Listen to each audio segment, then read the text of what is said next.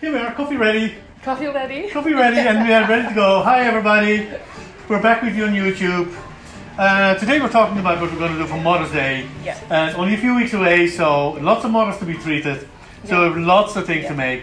going to start off today, I think, with a couple of nice bouquets. What I was thinking is maybe one a really vibrant bouquet with yellows and reds and pinks and blues, the blues irises. Yeah, but Something would really colourful. soft as well because I would like to receive a lovely soft flowers like soft pinks and soft. So uh, maybe one really a, with a pastel color that you want to make Yeah, a pastel. bouquet. Yeah. yeah, a pastel. That's Perfect. gorgeous. Yeah. My mother would like to have a basket. We could make a basket or We have something. loads of baskets. Lovely. Yes, Where are they? love- behind you is a couple of different ones. Yeah. My Yeah. mom loves baskets. That's lovely, Can reuse nice- the basket.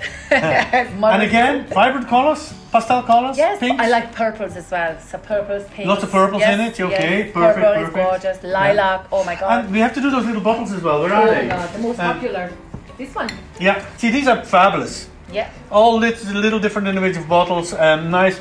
You can keep them for afterwards. They're actually fabulous for if you afterwards when the flowers are finished.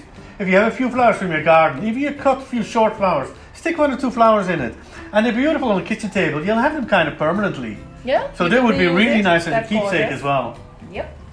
What else are we going to do for Mother's Day? Unfortunately, we're going to make some posies for the graves or something, something Mhm. nice. a s- Maybe a basket, a round basket. Yeah.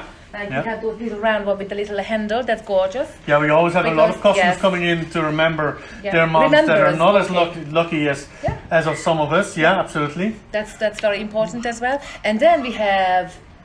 Mm, the front-facing bouquets we can make. Oh, they're lovely, the exotic ones with the the orchids. exotic, Yes. Have we got any big orchids here? Yeah, let me get you one. Yeah, yeah. Mashy's actually very good at making them. She, she starts with one of the very large exotic uh, cymbidium orchids. Some lovely big leaves with it. Yes. Some uh, selection of other seasonal flowers with it. Some extra branches. We love twigs and branches. And But super long-lasting, fantastic. they will last for weeks, and Yeah. I don't know if you can see it in the plastic, but they're that's how they come in. We'll uh, wrap them out, and they're just absolutely stunning. Beautiful. and Love it's just made up in a big presentation bouquet. They're kind of theatre style bouquets. They used to be presenta- called presentation bouquets that you give to people on a podium so you can see it from from front. That's why they're front facing.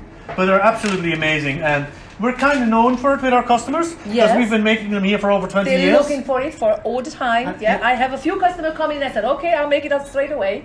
Yeah, Perfect. Absolutely. So we better get started, put something together, and we'll show you what we've done later on. okay then. Perfect. Yeah, let's. Where's my coffee? Yeah. Yeah, right my there. coffee. No one needs some coffee now. Mm. Lovely. The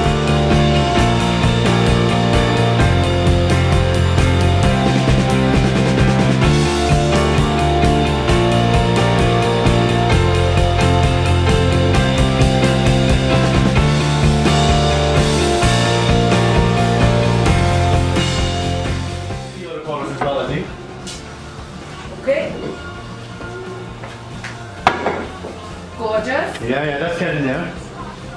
Excuse me. Oh, that's gorgeous. Yes. Yes, you can.